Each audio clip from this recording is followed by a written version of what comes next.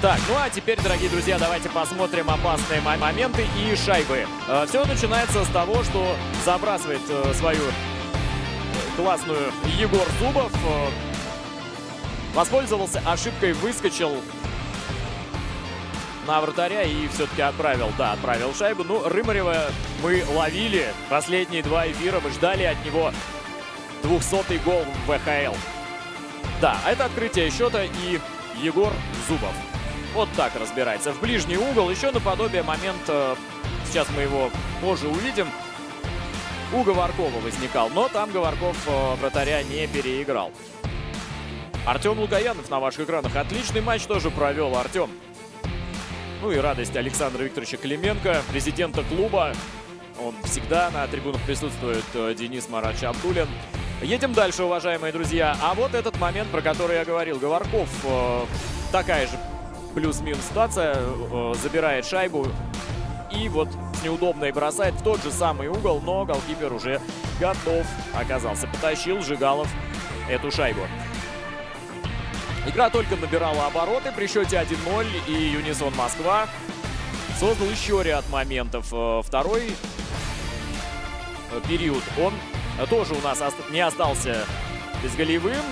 Тут э, с передачи Климонтова Рыжов. Ну и, по-моему, Рымарев э, отдавал также передачу здесь. Э, голевая у него плюсиком. Э, так что статистику сегодня хорошо поправил наш юбиляр, автор 200-й шайбы. Ну, в этом, конечно, аспекте у него сегодня юбилей очень знаковый. Смотрите внимательно. Вот оно подставление. Сверху видно прекрасно. Э, Рыжов подловил. Ну вот тут уже дела пошли полным ходом. Силовой добавилось. Э, Рыченко попадает под молот. Э, очень часто, кстати, такое происходило, когда высоко давила команда Южный Урал. И приходилось побиться о. Вот это все на себя ощутить Юнисону. А по-другому никак, дорогие друзья. Спасение Шигапова хорошее.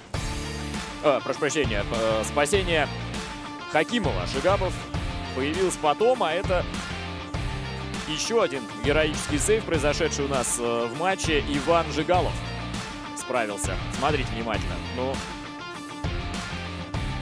великолепные действия вратаря. Вот отсюда еще видно шикарно. И э, верхний ракурс. Э, вот. Браво, браво, Жигалов. И как здесь болельщики восприняли это спасение. И сосредоточенный взгляд из-под маски. Просто муха не, при, э, не пролетит. Отлично. Жигалов. Э, далее, друзья. Э, не оставляя надежд э, на то, что забросить удастся во втором периоде, атакует гостевая команда. Рыжов, Рымарев ну, пользовались этой ситуацией. Не только они отбирали и создавали вот так моменты сходу.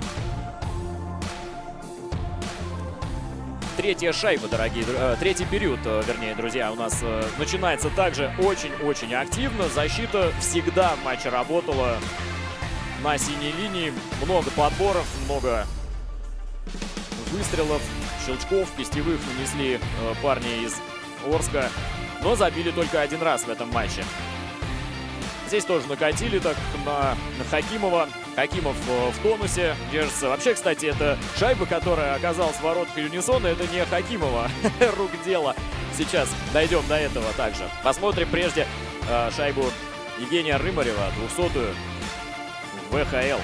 Ну, а это атака очередная. Бросочек здесь противоход был исполнен. Хорошо исполнял Рвачев Владислав. Артем подмечал все его действия, хвалил. Так, а здесь гол как раз. Э, внимание, уважаемые зрители. Ну, здесь э, все видно и с этого ракурса хорошо. Шайба скатывается просто э, по руке вратаря. И как назло вот для Жигалова ворота. Но, на счастье Рымареву, такая отметка блистательная. 20 голов.